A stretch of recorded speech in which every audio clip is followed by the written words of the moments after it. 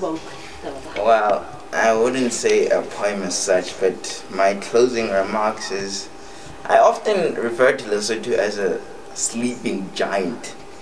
Now it's time for that giant to wake up. Now who's going to wake up that giant?